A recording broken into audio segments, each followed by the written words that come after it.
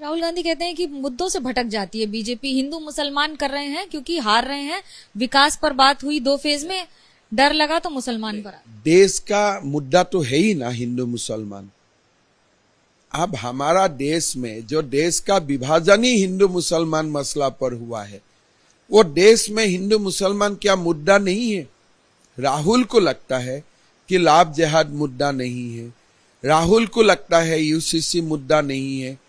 राहुल को लगता है पोलीगेमी मुद्दा नहीं है। आपके लिए हिंदू में मुद्दा लगता है, कास्ट सेंसस आपके लिए मुद्दा है। लेकिन हम जब बोलता हूँ, मुसलमान में भी कास्ट सेंसस करो तो अब वो मुद्दा नहीं है। तो देश में मुद्दा क्या है, उसके लिए भी राहुल से परमिशन लेना पड़ेगा। कांग्रेस में ऐसा क्या है जो आपको लगता है कि वो भी क्या ज़मीन से दूर होती चली जा रही है, या उनको नुकसान हो रहा है? क्योंकि वो कह रहे हैं कि हम इस बार सरकार बना लेंगे। कांग्रेस में राहुल ही है, उसके लिए ज़मीन में कांग्रेस नहीं है। जब तक राहुल रहेगा, तब तक कांग्रेस ज़मीन पर कैसे आएगा? वो तो घूमते रहता है, कभी शेष खिलाता है, कभी ट्रैक्टर में सला जाता है, कभी फ़्लाइट में, कभी हवा में, कभी आकाश में। तो राहुल को पहले ज़मीन आने पड़ेगा ना? प्रियंका गांधी चुनाव नहीं लड़ रही हैं। कह रहे हैं कि इसके पीछे बहुत बड़ी स्ट्रैटेजी है कांग्रेस की। देखो, चुनाव लड़ना सही है। अगर आप पंचायत का चुनाव भी नहीं लड़ेगा जिला परिषद का भी चुनाव नहीं लड़ेगा एमएलए एमपी का भी चुनाव नहीं लड़ेगा, तब चुने हुआ लोगों का पीछे बात करना छोड़ दो ना। पहले एक बार तो चुनाव जीत लो खुद। मैंने इसको आह्वान कर रहा हूँ, भाई, एक बार जीत लो, तब तो अच्छा लगता है। आप पार्लियामेंट में नहीं है, पूरा पार्लियामेंट्री सिस्टम का बारे में बात शुरू कर देते हो। एक बार चलो जीत लो तो अब अकाउंटेबिलिटी आ जाते हैं ना। अभी तो ये लोग क्या है? ये लोग विदाउट अकाउंटेबिलिटी खोले मशीन गन है। जहाँ भी है वो फायर करते रहते हैं। इसलिए वो लोग जानते हैं, मेरा कोई अकाउंटेबिलिटी नहीं है। कुछ भी होगा बोलेगा तो खारगे प्रेसिडेंट है, हम तो कुछ नहीं हूँ। बीजेपी मैं राहुल गांधी पर पूछना चाहूँगी, रायबरेली से लड़ेंगे, अमेठी से नहीं लड़ेंगे? देखिए, रायबरेली से रहे, अमेठी से लड़े, हमें क्या तकलीफ़ है? हारना तो आपको दोनों सीट से है। आप अमेठी से भी लड़ते थे, तब भी हार जाते थे। रायबरेली से हार, लड़ते हैं, तब भी हार जाते थे। राहुल ने थोड़ा बुद्धिमत्ता का काम किया कि अमेठी से लाखों में हार जाता था, शायद रायबरेली में हज़ार से हारूँगा। तो थोड़ा सा उनने बुद्धिमत्ता से काम किया है उसको तो साधुवाद ही देना है। आपको हमेशा उनकी बुद्धि से क्या एतराज़ रहता है राहुल गांधी की? मैं तो साधुवाद दिया ना उनको कि एक बुद्धि का काम किया कि अमेठी जाने से बड़ा वोट से हारता था।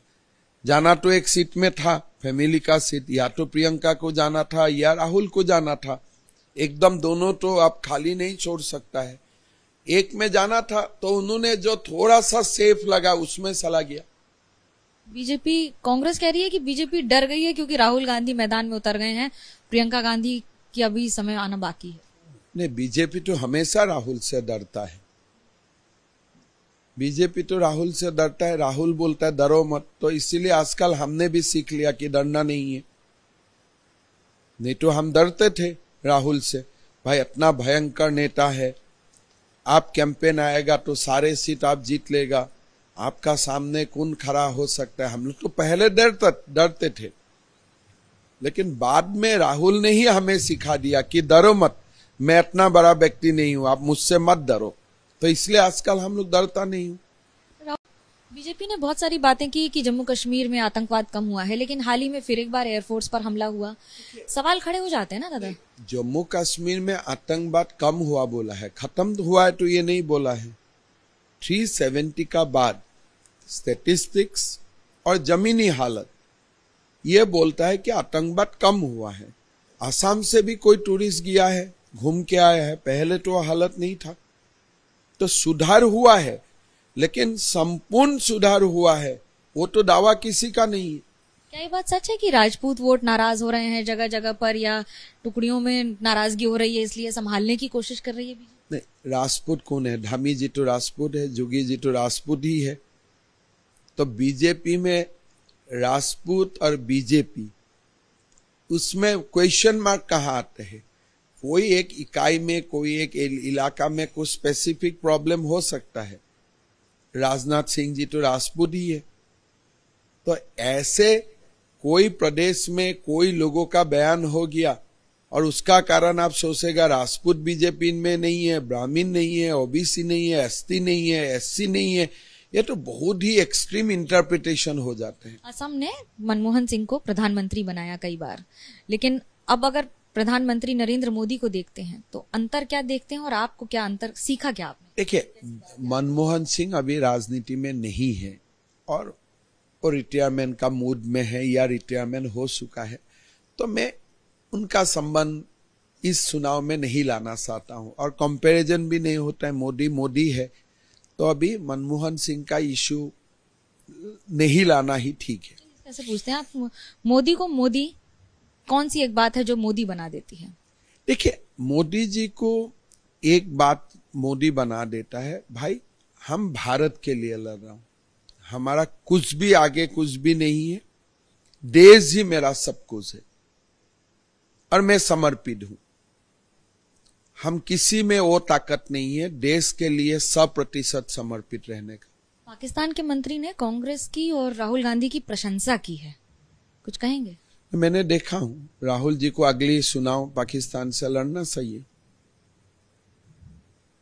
जीतेगा अच्छा बहुत से जीतेगा। ऐसे तो half to half Muslim League का सपोर्ट से तो चुनाव जीतते ही। जिन्ना का जो ओरिजिनल पार्टी था, उनका सपोर्ट से ही वो चुनाव जीतते हैं। अभी थोड़ा पेरेंट कंट्री में भी जाके एक बार लड़के आना सही है, भारत का सम्मान बढ़ेगा, वो पाकिस्तान में जाए, लाखों वोट से जीते। हो सकता है पाकिस्तान में जो पॉलिटिकल इंस्टेबिलिटी हो रहा है, उसमें राहुल जी कुछ ठीक भी कर सकता है, बहुत बड़ा साइंटिस्ट है। राहुल जी साइंटिस्ट है? बहुत बड़ा पॉलिटिकल साइंटिस्ट है सेस प्लेयर भी है।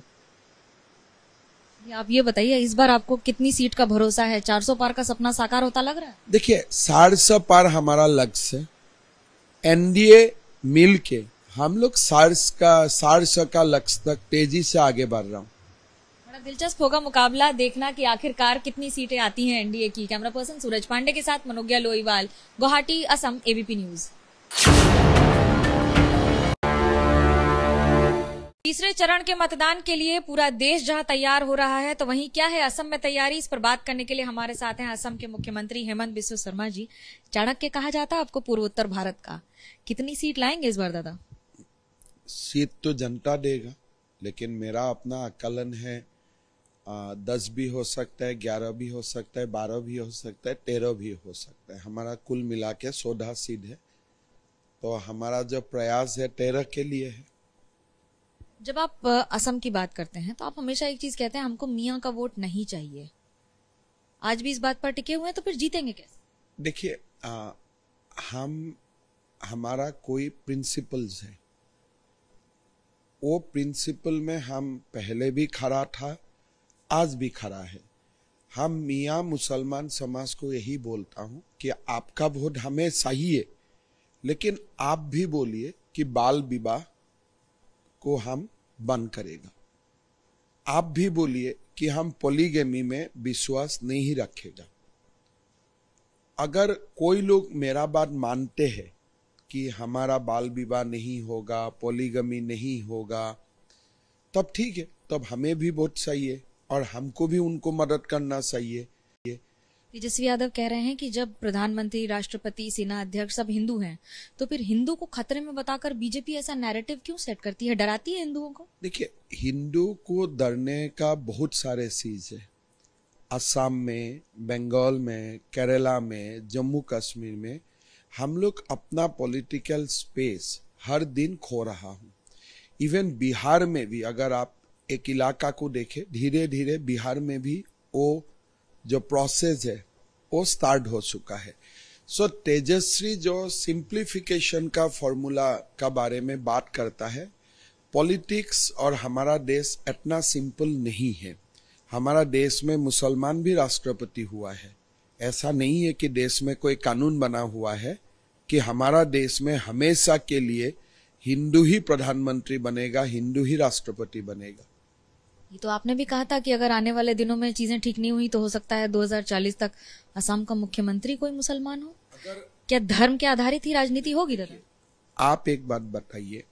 आप कोई भी मुसलमान पोलिंग बूथ में जाइए वोट क्या सब पार्टी को मिलते हैं?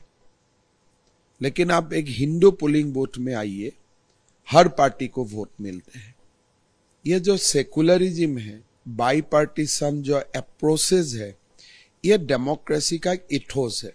हिंदू तो डेमोक्रेसी मानते हैं, लेकिन मुसलमान का क्या माँ और बहन वोट दे सकता है? जमात में पहले निर्णय नहीं होता है, किसको वोट देना है? अगर जमात में निर्णय नहीं होते थे, तब तो वोट हर पार्टी को मिलते थे। लेकिन निर्णय कोई करता है, आप खाली वोट देने जाते हैं। ये क्या डेमोक्रेसी है?